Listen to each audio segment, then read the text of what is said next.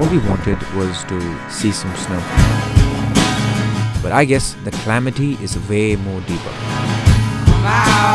For all the chaos, we're just trying to balance it out. I think this is my way of balancing out.